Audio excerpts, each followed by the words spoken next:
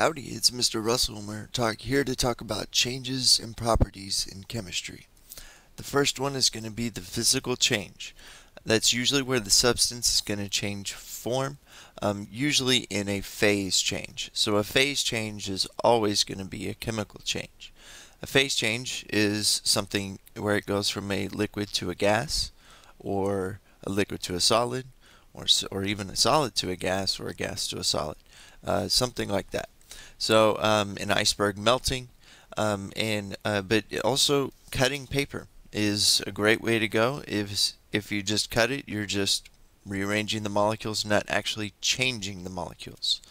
Um, dissolving salt is also a physical change because the salt is now just being mixed with the water.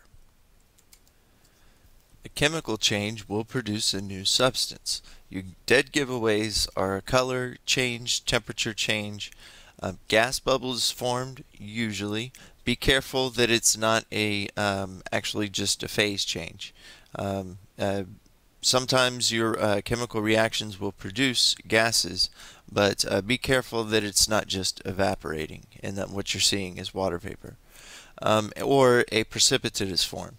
I've got a bunch of pictures here. You can see gas bubbles um, forming um, when uh, when the zinc is uh, dissolved in hydrochloric acid, um, a match burning, iron uh, rusting in a nail to form iron oxide, um, a banana rotting, bed breaking, uh, bread breaking, bread baking. Uh, um, or cook, any uh, cooking is uh, just about always going to be a chemical change, and um, also a precipitate being formed. We'll cover that later in the course, uh, where a precipitate is formed. So, is this a physical or chemical change? It's a physical change. The uh, the gas is actually just getting smaller, um, and we'll study these later on in the course too um, where uh, as the gas is uh, decreasing its temperature inside the balloon, it will now decrease its volume. Um, if the balloon was allowed to uh, warm back up, it will warm up back up to its normal shape.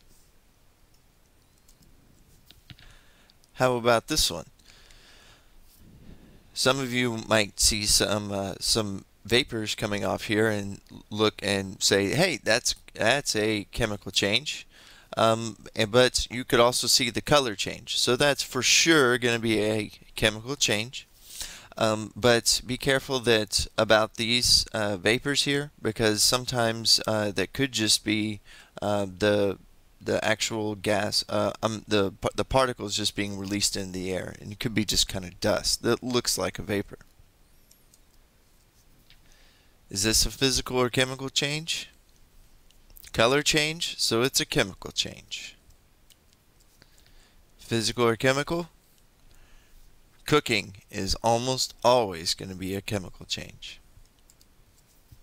So being able to identify them is uh, one thing on a test or um, in in the classroom, but in the lab you have to really think about it.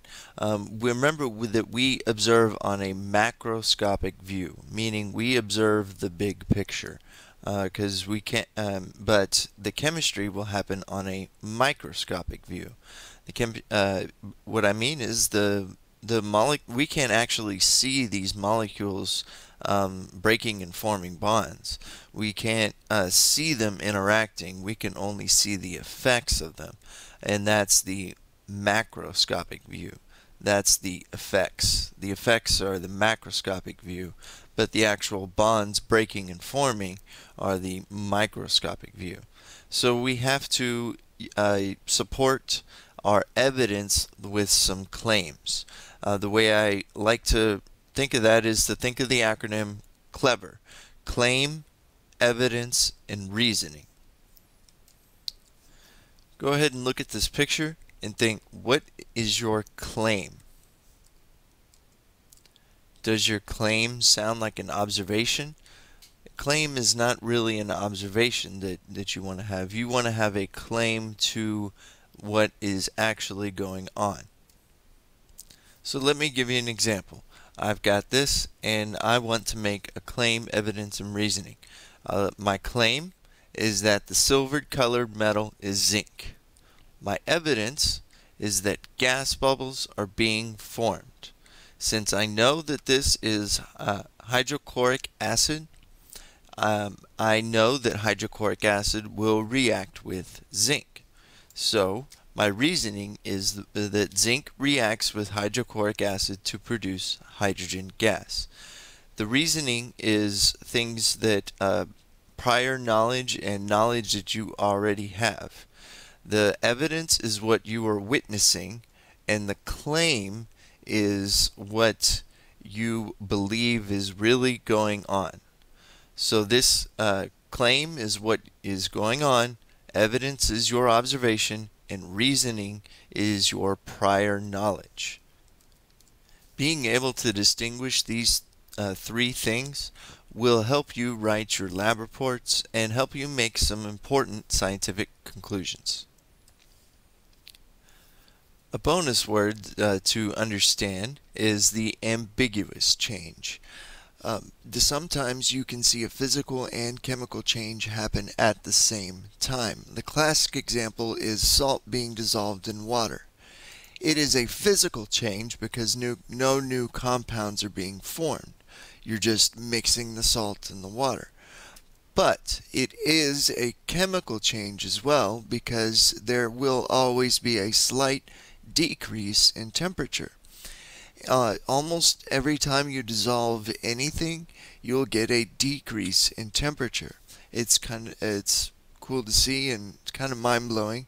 Um, but um, also, when you dissolve sugar in your tea, you are actually decreasing the temperature of your tea. Just a little bit, not enough to really be able to feel and notice, but you are decreasing the temperature. Uh, properties can be broken up into two different terms, the chemical property and the physical property. The physical property can also be broken into two different other types of terms, um, two different subcategories called the intensive property and the extensive property. The physical property is how the substance appears or behaves, like its color, hardness, malleability, conductivity, or density most people uh, do, don't remember that density is actually a physical property. Um, a chemical property is how the substance uh, reacts with other substances. So that will be um, uh, flammability, toxicity, reactivity with water, or reactivity with acid. So again, physical properties are how it behaves by itself, and chemical properties are how it behaves with other chemicals. Chemical properties are definitely the most interesting to study, um, and here we uh, you can see you can see that the there's a chemical property belonging to the group 1 um, alkali metals. That's the, all the ones on the left side of the periodic table. Uh, they that they all react with water quite violently um, and this is uh, an example of this um, kind of reaction the chemical property was uh, the, chemi the periodic table of elements was actually grouped together according to chemical properties. The, intent, the physical properties can be broken down into two subcategories called the intensive properties and the extensive properties.